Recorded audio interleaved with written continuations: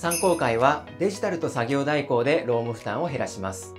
全国対応可能で関東圏のお客様が増加中。詳しくは概要欄からご覧ください。こんにちは、社会保険労務士の竹久です。今回はですね、ちょっと今までと化色を変えて、私のおすすめのオフィス用品についてお話ししていきたいなと思います。この動画がですね、公開されるのはおそらく12月29日だと思いますので、もうですね、年末年始のお休みに入ってる方も多いんじゃないかなと思います。まあお休みに入ってまでですね、仕事の勉強するのもちょっと大変かなと思いますので、今回はですね、少し今までと違った形でですね、ゆるく見られるような内容にしていきたいと思います。私もですね、オフィス用品とか色々買うのは好きな方なので、今年もいくつか買った中で、これは良かったなっていうものを今回5つご紹介したいなと思います。まずですね、4K モニターですね。私はですね、デルの27インチのモニターをとりあえず買ってみたんですけれども、やはり今までですね、弊社にあったモニターは全部フル HD だったんですね。そして今回まあちょっと興味があって 4K モニターを買ってみました。そうするとですね、やはり文字とか画像とかがすごい鮮明なんですね。で、文字が鮮明になるとすごく読みやすいです。これは私が思ってた以上に読みやすかったので、ぜひですね、まだフル HD のモニター使ってるっていう方は、4K のモニターに変えていただくと、すごく作業がはかどるんじゃないかなと思います。そして、まあ私が調べた時は、普段使ってたのは24インチを2つ並べて使ってたので、片方だけ変えようと思って24インチで探してたんですけども、なかなか 4K で24インチって見つからなかったんですね。まあ、探せばあったのかもしれないんですけれども、そこで27インチを今回買ってみたんですけれども、全然大きすぎるっていうことはなかったので、27インチでもいいんじゃないかなと思います。今後ですね、次買い替えるってなったら、ワイドな、すごく横に長いモニターを買ってみたいなとは思うんですけれども、結構費用もかさむと思いますので、とりあえず試してみたいなっていう方には、ぜひこの 4K の27インチモニターおすすめしたいなと思います。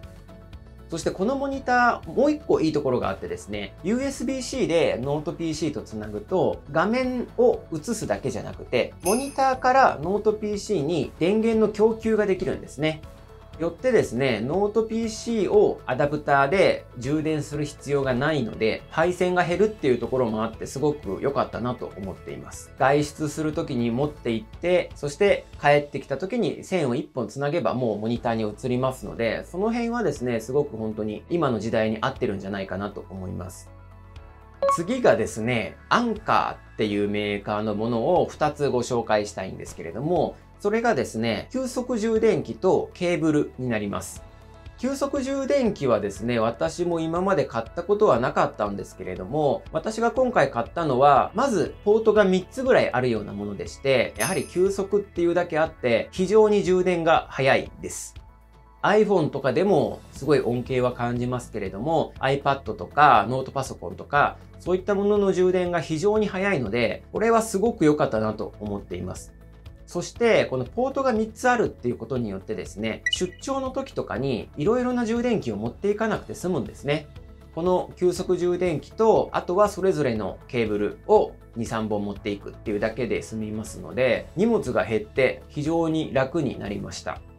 このアンカーのですね、急速充電器調べるといくつも種類があって、どれがどれなのか私もいまいちよくわかってないんですけれども、ポートの数だったりとか、ワット数とかによって違ってくるんだと思いますので、その辺ご自身の欲しいスペックで購入してみることをお勧めします。